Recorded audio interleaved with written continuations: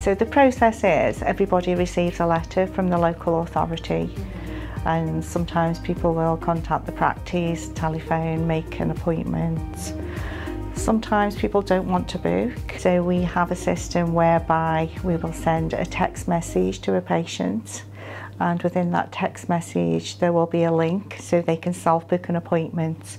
Because we've realised that young people like the technology they don't always want to come in face to face or speak to people. It's just go on the link quickly book job done. That's it. Um, so we have evening clinics so the practice nurse will do a late evening clinic here up until 8 o'clock. We also do weekend clinics and we've also done a weekend walk-in clinic and that was very successful.